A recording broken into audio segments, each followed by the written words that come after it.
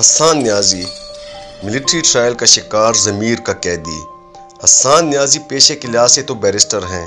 انہوں نے قانون فوجداری، قانون آئین اور انسانی حقوق میں مہارت حاصل کی۔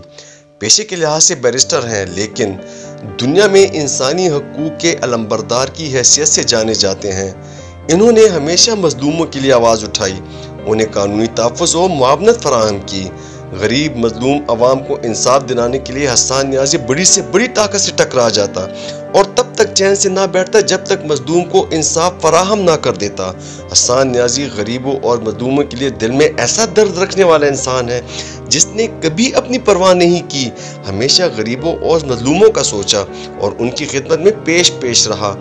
ختیجہ صدیقی کا مشہور زمانہ کیس۔ جب ختیجہ صدیقی پر ایک نامی گرامی وکیل کے بیٹے نے قاتلانہ حملہ کیا تھا اور جس کا کیس کوئی بھی وکیل لینے کو تیار نہیں تھا، تب حسان نیازی آگے بڑھا اور کئی مخالفتوں کے باوجود نہ صرف ختیجہ صدیقی کا کیس لڑا بلکہ اسے انصاف فراہم کیا اور آج ختیجہ صدیقی خود وکیل کی حیثیت سے حسان کے لیے لڑ رہی ہیں۔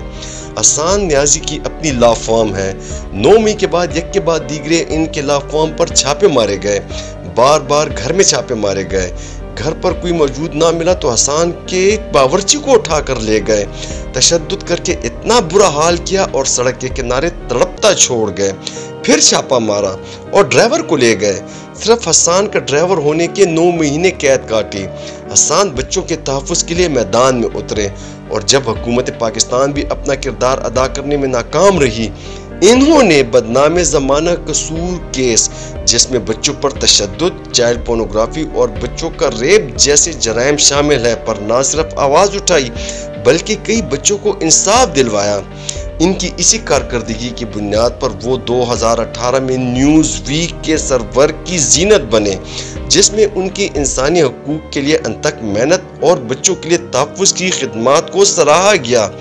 یہ پاکستان کے لیے بہت بڑے اعزاز کی بات تھی۔ انہی کی کاوشوں سے پاکستان تحریک انصاف لا فورم نے اسلام آباد ہائی کورٹ بار ایسوسیشن اور Rawalpindi high court bar association کے الیکشن میں کامیابی حاصل کی۔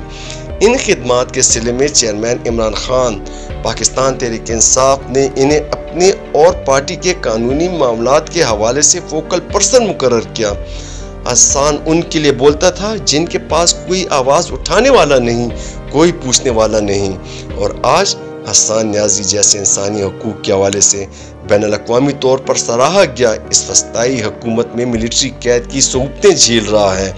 یہی مظلوموں کا درد رکھنے والا حسان پچھلے کئی ماہ سے اپنے لیڈر، اپنے ملک کے لیے آواز اٹھانے کی برداشت میں پابند سلاسل ہے۔